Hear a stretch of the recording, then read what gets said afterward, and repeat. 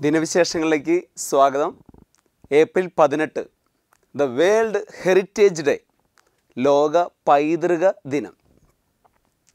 നിനക്ക് അഭിമാനിക്കാൻ എന്തുണ്ട്? ചിലർ പറയും സമ്പത്തുണ്ട് ഭൂമിയുണ്ട് അറിവുണ്ട്. പക്ഷേ അതുക്ക് മേലെ അതൊരു കാര്യമുണ്ട്. എന്താണെന്നറിയോ? നിന്റെ പൂർവികർ നിനക്കായി ഒരുക്കി വെച്ച കാര്യങ്ങൾ പൈതൃകം.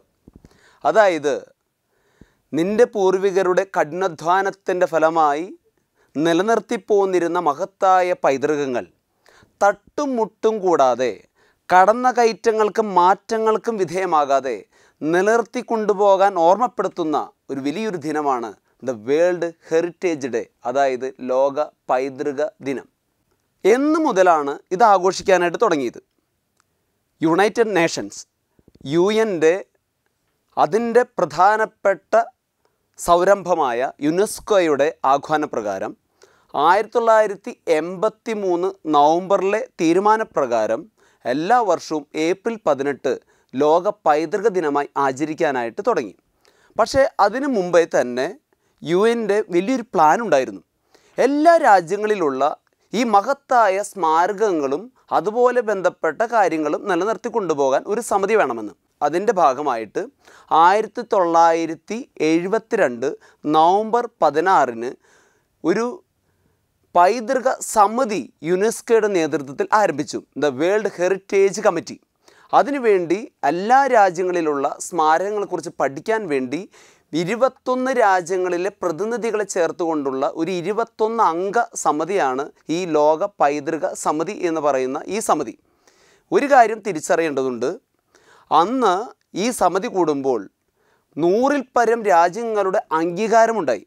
ഈ അംഗീകാരമുള്ള രാജ്യങ്ങളിൽ നിന്ന് തിരഞ്ഞെടുക്കപ്പെട്ട ഇരുപത്തൊന്ന് രാജ്യങ്ങൾ ആ ഇരുപത്തൊന്ന് രാജ്യങ്ങളിലെ തിരഞ്ഞെടുക്കപ്പെട്ട പ്രതിനിധി പ്രതിനിധികൾ ചേർന്നിട്ടുള്ളതാണ് ഈ സമിതി.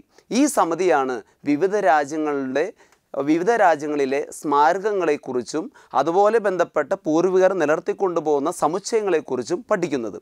ഈ സമിതിയുടെ പ്രധാനപ്പെട്ട ലക്ഷ്യം എന്ന് പറയുന്നത് സാംസ്കാരും പുരാതനവുമായ സമ്പത്ത് ഏത് രാജ്യത്താണെങ്കിലും അതിനെ സംരക്ഷിക്കാനുള്ള ബാധ്യത ആ രാജ്യങ്ങൾക്കുണ്ടെന്നും അതിനെ സംരക്ഷിക്കേണ്ടതും നിലനിർത്തേണ്ടതുമായ ബോധ്യം എല്ലാവർക്കുമുണ്ടെന്നും അതിനു വേണ്ട സഹകരണം ഉറപ്പുവരുത്തുകയുമാണ് ഈ സമിതിയുടെ പ്രധാനപ്പെട്ട ലക്ഷ്യം. ഒരു കാര്യം തിരിച്ചറിയണം. ലോകത്തെവിടെയുമുള്ള നൂറ്റി അറുപത്തേഴ് രാജ്യങ്ങളിൽ നിന്ന് ആയിരത്തി എഴുപത്തി മൂന്നിൽ പരം സ്മാരകങ്ങൾ ഈ ഈ വേൾഡ് ഹെറിറ്റേജ് സമിതി നിലനിർത്തിയിട്ടുണ്ട്. നമുക്ക് അഭിമാനിക്കാൻ ഒരു കാര്യമുണ്ട്. ഇന്ത്യയിൽ നിന്ന് തന്നെ മുപ്പത്താറിൽ പരം സ്മാരകങ്ങൾ ഈ ഈ വേൾഡ് ഹെറിറ്റേജ് സമിതിയിൽ അവർ രേഖപ്പെടുത്തിയിട്ടുണ്ട്. മാത്രമല്ല ചില കാര്യങ്ങൾ മാത്രം സൂചിപ്പിക്കുന്നു.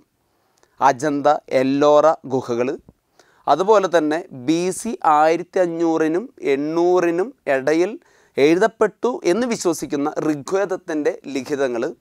അതുപോലെ തന്നെ നമ്മുടെ ഭാരതത്തിലുണ്ടായിരുന്ന ആഗ്ര ഫോർട്ട് അതുമായി ബന്ധപ്പെട്ട കാര്യങ്ങളൊക്കെ ഇപ്പോഴും ഈ സ്മാരകത്തിന്റെ ലിസ്റ്റിൽപ്പെടുത്തിയിട്ടുണ്ട് കേരളത്തിലേക്ക് വരുമ്പോഴും അഭിമാനിക്കാൻ കുറേ കാര്യങ്ങളുണ്ട്.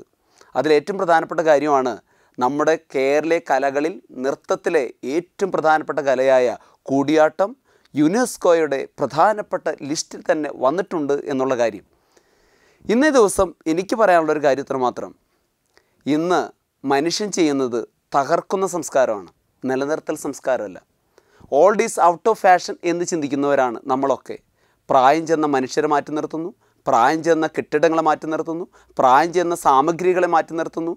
എല്ലാം വേസ്റ്റ് എന്ന രീതിയിൽ ചിന്തിക്കുന്ന ഒരു കാലഘട്ടമാണ്. പക്ഷേ ഒരു കാര്യം ഓർക്കുക. ഓൾഡ് ഈസ് ഗോൾഡ് നഷ്ടപ്പെട്ടു പോയതും അല്ലെങ്കിൽ ഇനിയും നിലനിർത്തേണ്ടതുമായ ചില കാര്യങ്ങളുണ്ട്. അതൊക്കെ തന്നെയാണ് ഒരു രാജ്യത്തിന്റെ മഹിമയും ഒരു കുടുംബത്തിന്റെയും ഒരു തറവാടിന്റെയും സ്വത്തും മഹിമയും തിരിച്ചറിയേണ്ടത്. നീ ഒന്നും ഓർക്കുക ഓൾഡ് ഈസ് ഗോൾഡ്.